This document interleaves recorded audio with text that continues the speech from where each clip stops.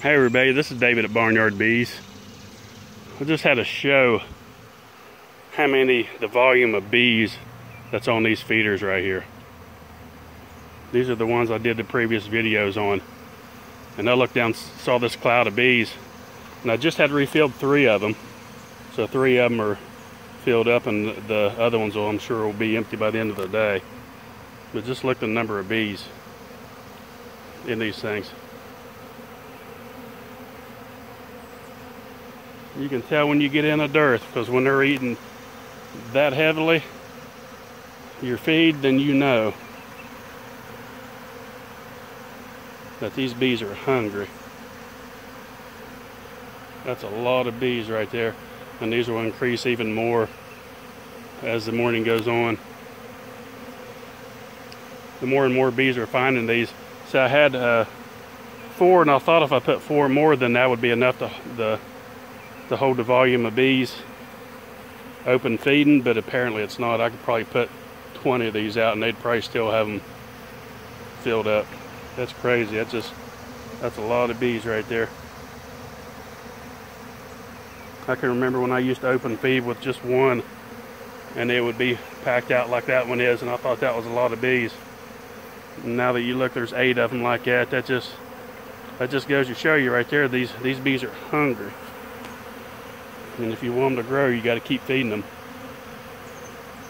And my hives up there, all the small hives, they're not being robbed out. This works very well through the dearth. Those hive top feeders are wonderful, but like I said, if you've got a lot of bees and a lot of strong bees mingling in with weaker, weaker hives, it's good to do this and draw them away from the colonies as far as possible. I could even maybe put it a little bit further, but it, everything is downhill. Um, and that was about the best place to put them, so. I spilled a little bit of sugar water on my tailgate, and these bees, are, they'll be all day eating this sugar water up. Where I had it on the back of my truck. But that just, that's a massive amount of bees right there eating.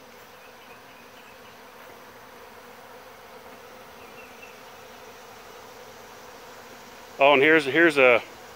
This goes out to the people that was saying this spreads disease, and I tried to make a, a point to them that whether they like it or not, they're community feeding anyway with their bees, and they don't even realize it. And what I mean by that is trash cans, dumpsters, landfills, restaurants, uh, cornfields in full bloom. If you ever been to a cornfield, anywhere where you got honeybees, those bees will be thick as a cloud like this right here, and maybe not quite this heavy, but they'll be rolling over each other. People don't realize, and at least doing it this way, I'm keeping them at home. And, you know, since bees are in the decline, there's not a lot of wild bees. So, there's not really any wild bees mingling in with these and even if they was, the chance of them spreading the disease would be, you'd, you'd have a better chance hitting the lottery 10 times in a row. It's just crazy, the, the thinking of that. And uh, But if you think about it, you know, people's got Coke cans laying out, trash cans. If there's a fair going on, those honeybees will just, they'll be all over the place. Um, when the apple trees, when they drop their apples, look on the ground and there'll just be a massive amount of honeybees fighting after that that uh, sugar coming out of the the fructose coming out of the apples. It's just whether they like it or not, their community their bees are being community fed and they don't even realize it. So the way I see it, at least I'm keeping my bees at home. At least they're you think about that. You community feed, you're keeping yours at home, either that, take it away and let them go somewhere else. And then hive top feed this time of year, you're gonna lose some small hives. So think about that. That's another little tip today of, uh, of something you can tell people when they when they down about community feed and say, well, at least these bees are staying at home.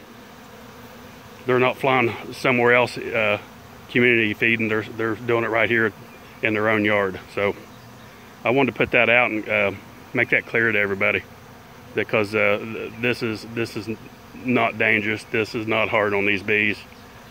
Bees forage, that's what they do. And they're hungry. And all these bees could be up there robbing other hives out, but they're not.